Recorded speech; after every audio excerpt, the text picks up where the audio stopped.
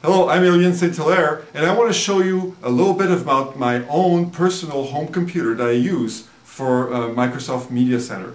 So right here is my big television. I have a 47-inch TV, but what's um, amazing about this TV is that I don't actually plug cable or anything in the TV. This TV is always plugged to my computer right here. So I use a Microsoft Media Center keyboard. Right here I have uh, of course, wireless mouses, and so on. I can invoke Microsoft Media Center on the screen. But what's special about this computer is that I have Intel Active Management technology uh, built in.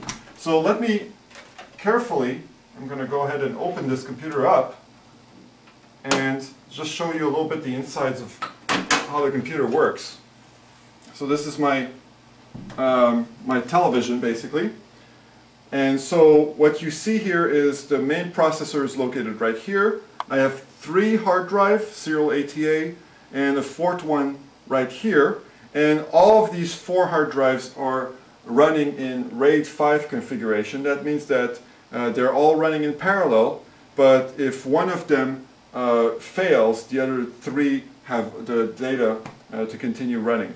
I have also two CD-ROM burners. I have uh, a dual HD, uh, dual uh, NTSC tuner right here so I can record two programs at the same time. And I have a video card. Here this, this video card does not have a fan on it, so I'm trying to keep the noise down using a fanless video card here.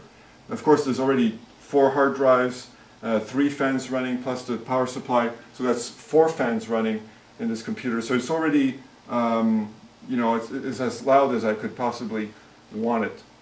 Now, because I have Intel Active Management technology on this computer, first of all, I can use all of the Intel Developer Toolkit, the, the DTK, and kind of remotely manage this computer from anywhere in the world um, through my, uh, my router at home, and I can access this computer. I can turn it on, I can diagnostic it remotely, uh, make sure that it, it booted correctly.